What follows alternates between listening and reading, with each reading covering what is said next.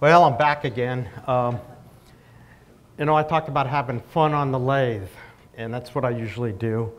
But I also have fun mirroring some patterns.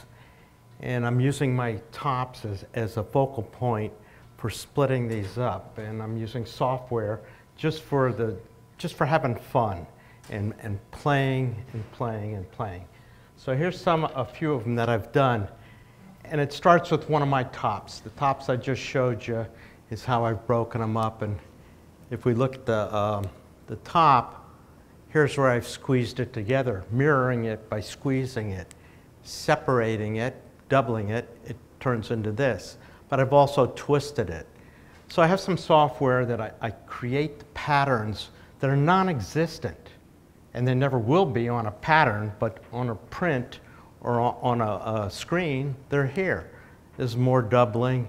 This is adding a center one on top of a doubling. So I can layer them.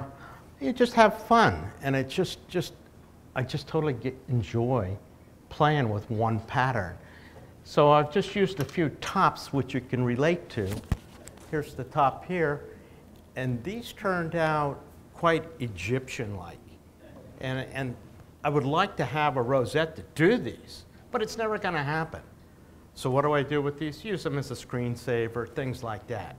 But you can fold them, twist them, kaleidoscope them, and it just playing around. And that's what I like doing.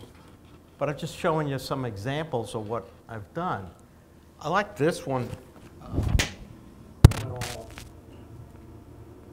think I lost it.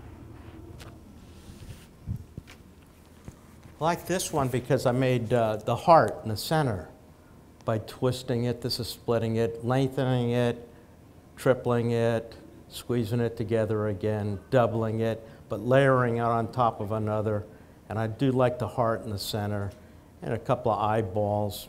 Kind of look a little freaky, but it's just playing. Uh, this one here again, it started out as a top up here. It kind of looks like an owl's head or something. But there's so many different patterns you can come up with of each little piece of your rosette pattern that you've created. So I'm just finding ways to do it. Uh, the bottom one shows a, a long border, which I used it in some of my other work as bordering all the way around, centering the, the main picture. But I'm just playing again. Uh, here's another one where you can see it and then I doubled it, and then slowly created the bordering. And it's quite unique. It, will never be a piece of wood or on a box unless I want to make it into something. Here's a few other examples of just the, the mirroring. If you just mirror it, they come out kind of nice. And a few more, quite unique. Uh, and you can add colors and play around all you want. And here's one of one of my tops where I, I repeated it all the way across.